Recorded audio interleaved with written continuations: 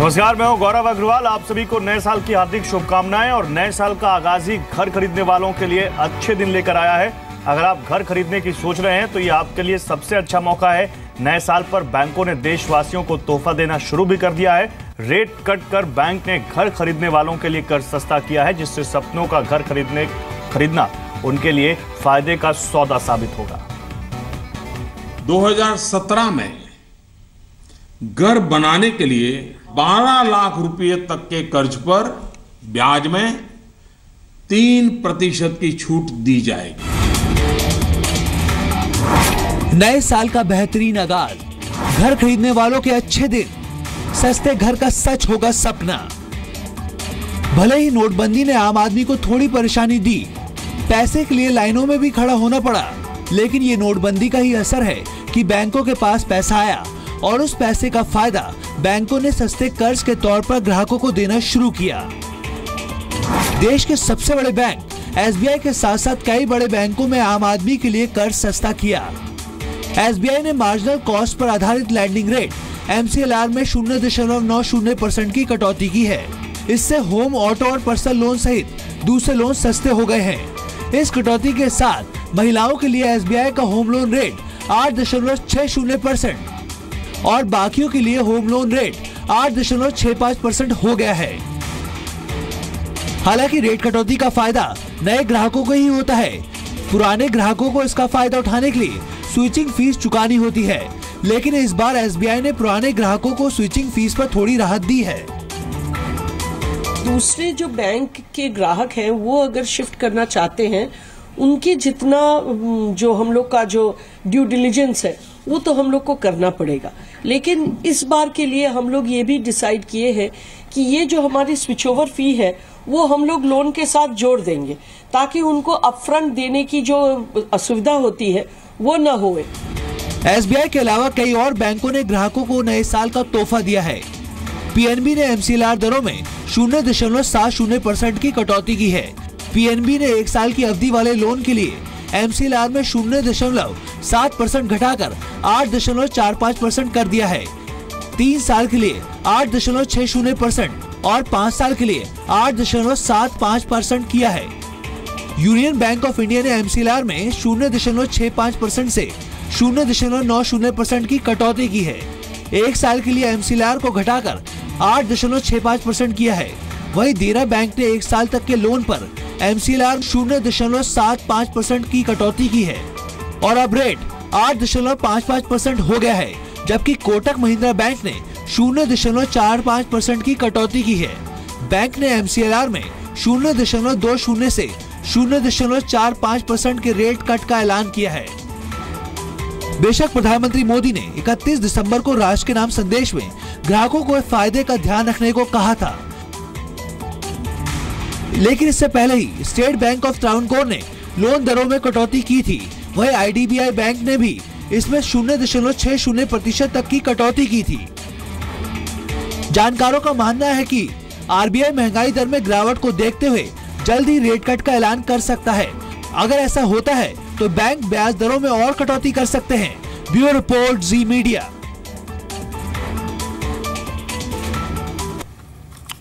तो सस्ता कर्ज अब हो रहा है बैंकों की तरफ़ से। बैंक सस्ते कर्ज का तोहफा इस नए साल में दे रहे हैं तो आपके लिए बहुत मुफीद वक्त हो सकता है ये घर खरीदने का, क्योंकि रियल एस्टेट मार्केट में भी डीमोनेटाइजेशन के बाद हमने डाउन ट्रेंड देखा है, और उसके बाद अब बैंकों ने भी कर्ज सस्ता किया मेरे साथ इस पर बात करने के लिए मयूर शाह होंगे एमडी मैराथन ग्रुप मेरे साथ अश्विंदर राज सिंह होंगे सीईओ जेएलएल इंडिया मेरे साथ इस पर बात करने के लिए राजीव तलवार होंगे सीईओ डीएलएफ और मेरे साथ अश्विनी कुमार होंगे चेयरमैन देना बैंक आप सभी लोगों का बहुत स्वागत है और अश्विंदर, सबसे पहले मैं आपके पास आऊँगा।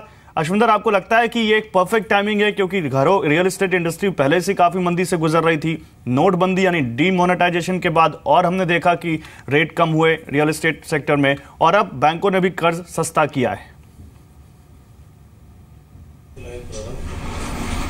इससे अच्छी चीज़ कोई हो ही नहीं सकती थी मेरे हिसाब से। और यू नो ये पहली बार है कि बैंकों ने सीधे ही लगभग एक परसेंट का रेट कट किया है। आज तक मेरे याद में नहीं आ रहा कि एक परसेंट का एक ही बारी में झटके से कभी रेट ऑफ़ इंटरेस्ट कम हुआ हो। इसका बहुत बड़ा इम्पैक्ट आपकी ई पे पड़ेगा, लोगों की बाइंग कैपेसिटी पे पड़ेगा।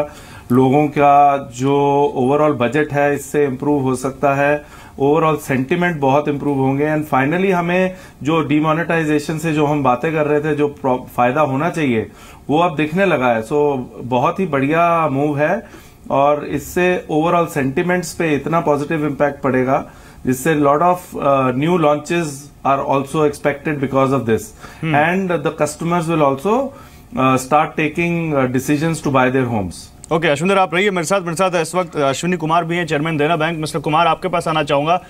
सर रेट में जो क्योंकि बड़ी लो, लोग सवाल ही पूछ रहे हैं कि रेट में जो कटौती हुई है वो एग्जिस्टिंग कस्टमर्स को मिलेगी या केवल न्यू कस्टमर्स को मिलेगी? तो आप इस पर क्या कहना चाहेंगे? नए ग्राहकों को फ़ायदा होगा या सबको होगा फ़ायदा? एमसीएलआर जब भी रिवाइज होता है वो जो फ्रेश लोन होते हैं उस पर एप्लीकेबल होता है। पुराने लोन्स जब रिव्यू रिन्यूअल्स के लिए आएँगे तब उन पे इम्प्लीमेंट ठीक है। मतलब सर रेट कट के बाद आप ये कह रहे हैं कि नेट इंटरेस्ट मार्जिन पर कितना असर पड़ेगा? क्या लगता है आपको? N I M would be definitely impacted but the impact would not be very high because lot of fund come in CASA with and going forward as I told you it will be applicable on new loans only existing loans में the rate of interest with the same will not be impacted. So in okay. near term near quarters may uh, there will not much but sir हमने देखा अभी पिछले कुछ दिनों में credit growth बहुत ज़्यादा बैंकों के पास नहीं थी। तो आपको लगता है कि रेट कट के साथ ही नए ग्राहक जुड़ेंगे और क्या ज़्यादा से ज़्यादा लोग घर खरीदने में दिलचस्पी लेंगे? बैंकों का भी इससे फ़ायदा होगा?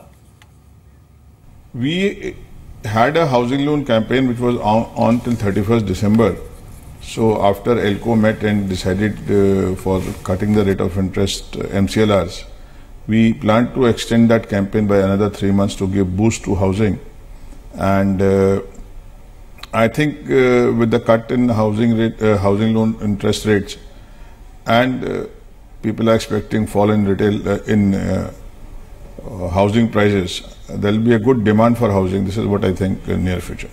Okay sir आप रहिए मेरे साथ मेरे साथ मयूर शाह जुड़ चुके हैं MD Marathon group mister Shah स्वागत है आपका जी बिज़नेस पर तो मिस्टर शाह क्या लगता है आपको कि ये एक बहुत सही वक्त है एक आ, आ, आम एक एंड यूज़र को एक आम इंसान को घर खरीदने के लिए क्योंकि इतना चीप लोन और इसके अलावा इतना मार्केट भी डाउन आप अपने सपनों का घर अपने बजट में खरीद सकते हैं?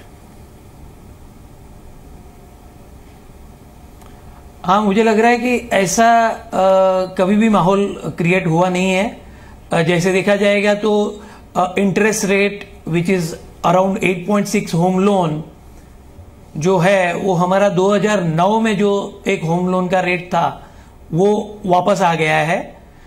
और उसके ऊपर सुहान सोने पे सुहागन जैसा अपना जो बोला जाता है वैसे इंटरेस्ट सबवेंशन जो डिक्लेयर किया है जो 12 लाख तक की लोन आपको 5.6 परसेंट तक मिल सकती है और 9 लाख की लोन जो है वो आपको 4.6 परसेंट तो अभी ये ये जो है करीबन 25 लैक्स और 30 लैक्स के जो फ्लैट्स है, उसके लिए बहुत ही फायदामंद हो जाएगा।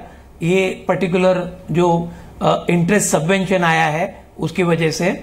And overall one percent reduction in the interest rate will be a big boost to entire housing industry. Okay मेरा अगला सवाल भी यही था। मैं अश्विंदर, आपके पास भी यही सवाल लेकर आऊँगा। आपको आपको लगता है कि रियल एस्टेट इंडस्ट्री के भी अब अच्छे दिन आएँगे? देखिए, मेरे हिसाब से रियल एस्टेट इंडस्ट्री के अच्छे दिन पहले से ही आए हुए हैं for the last you know इस साल हमने बहुत इंप्रूवमेंट देखी है। प्रॉब्लम रियल एस्टेट इंडस्ट्री में ये है कि जिसको रियल एस्टेट के बारे में कुछ नहीं पता है वो भी रियल एस्टेट के बारे में कमेंट करता रहता है और पूरी दुनिया उसको बहुत सीरियसली लेती रहती है। सो फॉर एग्ज़ाम्पल इससे जो सबसे इंपॉर्टेंट चीज़, उसके कारण क्या होता है? कंफ्यूजन हो जाती है और कंफ्यूजन से सेंटिमेंट डाउन हो जाता है। So if you look at market some कई मार्केट्स लाइक बैंगलोर पूना ये पहले से ही काफ़ी अच्छा कर रही हैं और अभी आने से जिस तरह का अभी नहीं लेकिन आ, मैं मेरे मैं इसलिए बोल रहा था सुंदर आपसे क्योंकि बहुत सारी बहुत सारी एजेंसीज हैं। आप आपके जैसे बहुत सारी ऐसी एजेंसीज हैं जो महीने दो महीने छह महीने पे कुछ रिपोर्ट्स जारी करती है। और रिपोर्ट्स में कहा जाता है कि दिल्ली एनसीआर में तो लाखों इन्वेंट्रीज पड़ी है बिल्डर नए प्रोजेक्ट में जा ही नहीं रहे हैं। तो वो क्या वो जो एक सेंटिमेंट था वो अब खत्म हो रहा है? नहीं वो वो आप बिल्कुल ठीक बोल रहे हैं बट वो पिछले दो तीन साल से ऐसा रहा है बट मुझे लग रहा है कि आप जो एंड यूज़र है एंड यूज़र ने वो सेंटिमेंट को ओवरटेक कर कर डिसीज़न लेना शुरू कर दिया था। जो फ़र्स्ट टाइम बायर था उसने डिसीज़न लेना शुरू कर दिया था स्पेशली न्यू प्रॉपर्टीज़ में। और अब इसके साथ रियल एस्टेट के अंदर वाकई में अच्छे दिन आने वाले हैं बिकॉज़ अफोर्डेबिलिटी बहुत बढ़ जाएगी। अफोर्डेबल होम्स की अफोर्डेबिलिटी और ज़्यादा बढ़ जाएगी बिकॉज़ उनके लिए जो रियल इंटरेस्ट रेट है वो एक्चुअली 50 परसेंट कम हो गया है। अगर आप 9 लाख का या साढ़े बारह लाख का लोन ले रहे हैं और ओवरऑल भी अगर आप बड़ा लोन लेते हैं अगर किसी ने एक करोड़ का लोन लिया हुआ है उसके ऊपर एक परसेंट का मतलब है कम से कम बीस पच्चीस हज़ार बीस एक हज़ार की saving per month which is दो से ढाई लाख का कैश फ्लो का आपको पॉजिटिव इम्पैक्ट आएगा। सो so, ये बहुत ही पॉजिटिव न्यूज़ है और इसको ग्राहकों को पॉजिटिवली लेकर अच्छी तरीके से जो वो अपने डिसीज़न पोस्टपोन कर रहे थे उसको दोबारा रिव्यू कर कर आगे बढ़ना चाहिए। मयूर आपको और इसका फ़ायदा उठाना चाहिए टू बी ऑनेस्ट बिल्कुल सही बात है। जब मौका मिला तो फ़ायदा उठाना भी चाहिए। लेकिन मयूर क्योंकि आप आपको लगता है कि वाकई ये जो डेवलपर्स हैं उनके लिए एक बड़ी अच्छी बात है? कंज्यूमर या कस्टमर के लिए तो है ही लेकिन डेवलपर के लिए भी अच्छी बात है कि अब डिमांड क्रिएट होगी इंडस्ट्री में। ये विन विन फॉर ऑल है। इंटरेस्ट रेट जब भी कट होता है ना तो win win for entire housing and real estate industry है। नहीं के लेकिन मैं तो उसे एक्सटेंड करके बोलूँगा कि it is economical growth angle से भी बहुत ही इंपॉर्टेंट है बिकॉज़ आज housing and real estate 250 industries को सपोर्ट करती है। तो जैसे हाउसिंग एंड रियल एस्टेट का ग्रोथ होता है तो एंटायर इकोनॉमिक बूम हमने देखा है जब लीमन ब्रदर्स का जब भी कॉलेप्स हुआ था 2008 में आपने देखा होगा कि March 2009 onwards housing and affordable housing ने ही पूरा इकोनॉमिक ग्रोथ एंड बूस्ट किया था।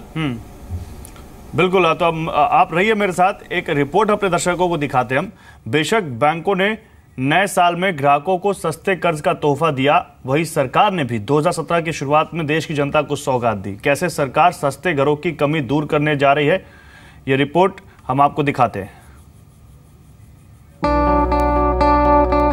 शहरों में लोगों को सस्ते घर देने के लिए मोदी सरकार पहले ही हाउसिंग फॉर ऑल के महत्वाकांक्षी टारगेट के साथ आगे बढ़ रही है। अब सस्ते घरों की कमी को दूर करने के लिए सरकार ने एक और बड़ा कदम उठाया है। प्रधानमंत्री आवास योजना के तहत पीएम ने शहरी गरीबों को 9 लाख रुपए तक के हाउसिंग लोन के ब्याज पर 4 प्रतिशत की सब्सिडी का ऐलान किया है, जबकि 12 लाख रुपए तक हाउसिंग लोन के ब्याज पर 3 परसेंट की छूट मिलेगी।